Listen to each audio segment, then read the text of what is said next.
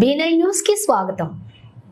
ఆహార తనిఖీ అధికారులమంటూ ఖమ్మం నగరంలోని కింగ్ దర్బార్ హోటల్లో ఫేక్ ఫుడ్ ఇన్స్పెక్టర్లు ఆకస్మిక తనిఖీలు చేశారు. కుళ్ళిపోయిన మాంసం కాలం చెల్లిన నిత్యావసర సరుకులు వినియోగిస్తున్నారంటూ హోటల్ యజమానిపై ఫైర్ అయ్యారు. ప్రజారోగ్యంతో చెలగాటమాడితే సహించేది లేదని హోటల్ యాజమానిపై మండిపడ్డారు. బెంబేలెత్తిన హోటల్ యజమానితో మీ హోటల్ నిర్వహణలో లోపాలున్నాయని హైదరాబాద్ నుంచి తమను ఆకస్మిక విచారణ చేయమని చెప్పిన కేటుగాళ్ళు విచారణ నివేదిక అనుకూలంగా ఇవ్వాలంటే రెండు లక్షల రూపాయలు ఇవ్వాలని డిమాండ్ చేశారు.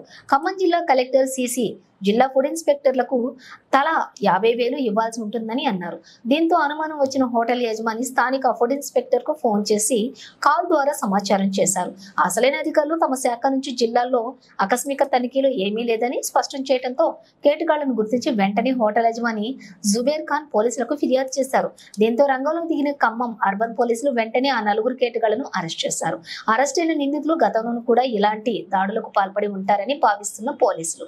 పట్టుబడిన నిందితులను భద్రాద్రి కొత్తగూడెం జిల్లా టేకులపల్లి మండలం సీతారాంపురం గ్రామానికి చెందిన గోగులత్ మోహన్ రావు భానుత్ రామస్వామి సపావత్ యువరాజు అజ్మీరా యువరాజ్ సింగ్గా ఖమ్మం అర్బన్ పోలీసులు గుర్తించారు.